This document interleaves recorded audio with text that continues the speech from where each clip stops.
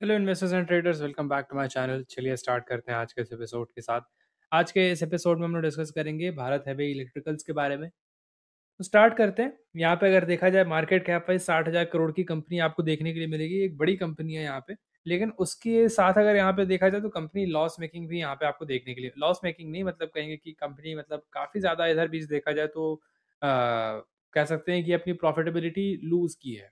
यहाँ पे मार्जिन 1% के आसपास देखने के लिए मिल रही है बट यहाँ पे प्रॉफिट ग्रोथ देखेंगे तो 90% से नीचे गई है। 90% मतलब एक बहुत बड़ा अमाउंट होता है, अगर 90% से आपकी अर्निंग्स अचानक से नीचे चली जाए तो। बीच बीच में यहाँ पे नेगेटिव रिज़ल्ट भी देखने के लिए मिले हैं हम लोग को, लेकिन अभी के लिए फ़िलहाल देखा जाए तो मार्जिन यहाँ पे बहुत ज़्यादा कम है, जिसके चलते यहाँ पे हम लोग को नब्बे परसेंट डिक्लाइन देखने के लिए मिला है। और ट्रेनिंग ट्वेल्व मंथ पे भी देखा जाए तो कोई बहुत ज़्यादा इंप्रूवमेंट देखने के लिए हम लोग को फ़िलहाल नहीं मिल रही है। उसके लिए यहाँ पे अगर देखोगे तो अर्निंग्स चूँकि यहाँ पे काफ़ी कम हो गई है और स्टॉक की प्राइस यहाँ पे काफ़ी समय से बढ़ती चली आ रही है, इसलिए स्टॉक की वैल्यूएशन यहाँ पे काफ़ी ज़्यादा बढ़ गई है। तो मतलब एक तरह से हम लोग कह सकते हैं ओवर वैल्यूड ज़ोन में है बहुत ही क्लियरली। आरओसी और आरओई देखोगे तो लोअर साइड पे देखने के लिए हम लोग को यहाँ पे मिल रही है। तो मतलब कंपनी का मैनेजमेंट भी कोई बहुत ज़्यादा ख़ास यहाँ पे देखने के लिए नहीं मिल रहा है। अब देखो बेल का एक थोड़ा-सा वो रहा है यहाँ पे कह सकते हो कि इलेक्शन के बाद थोड़ा-सा यहाँ पे इसके अंदर मोमेंटम रहता है या इलेक्शन के पहले से भी थोड़ा-सा मोमेंटम यहाँ पे रहता है। फॉर इंस्टेंस अगर यहाँ पे देखोगे 2013 के बाद वाला यहाँ पे जो इलेक्शन था, उसके बाद यहाँ पे मोमेंटम आया था। तो अभी देखा जाए उसके बाद जो उसके अलावा जो जितने भी इलेक्शन हुए हैं, उसके बाद भी जो इलेक्शन हुए थे, उसके बाद भी मोमेंटम एक हम लोग को यहाँ पे देखने के लिए मिला है यहाँ पे। और थोड़ा बहुत अगर देखोगे तो ऐसी कंपनीज़ भी जो लो मार्जिन रहती हैं और जो थोड़ा-सा लॉस मेकिंग रहती है, यूजली एक इलेक्शन पीरियड के बाद थोड़ा-सा मोमेंटम देती हैं, कुछ-कुछ पहले भी देती हैं।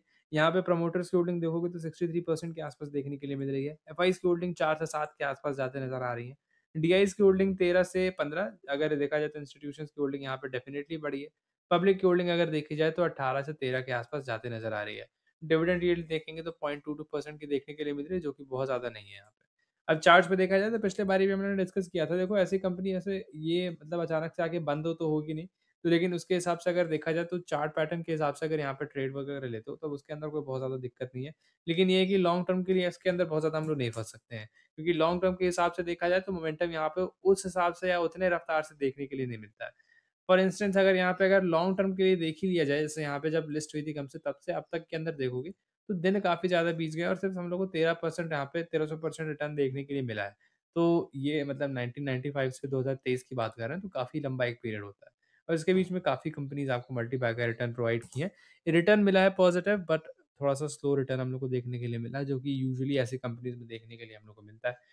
वही सेम चीज़ है यहाँ पे अभी फ़िलहाल जो हमने पिछली बार टारगेट दिए तो ऑलमोस्ट यहाँ पे हिट होने वाला है। फ्रेश पोज़ीशन आपको बनानी चाहिए, बिल्कुल नहीं क्योंकि यहाँ पे कंपनी ऑलरेडी यहाँ पे अगर देखोगे तो आखिरी स्विंग कंपनी का काफ़ी पीछे बीत चुका है, तो स्टॉप लॉस अगर यहाँ पे रोको तो बहुत ही बड़ा बनाना पड़ेगा। मतलब कि वही चीज़ हो जाएगी कि 2% टारगेट के लिए 10% स्टॉप लॉस लगा रहे हो, तो वो काम यहाँ पे नहीं हो सकता है। अगर यहाँ पे आप लोग swing trade wise position book करना चाहते हो, तो वो डेफिनेटली कर सकते हो क्योंकि एक मोमेंटम मिल चुका है। ऑल अगर देखा जाए तो 1-2 दिन और मोमेंटम यहाँ पे आपको मिल सकता है। तो उसके लिए बैठना चाहते हो तो आप लोग डेफिनेटली यहाँ पे थोड़े समय तक और रह सकते हो।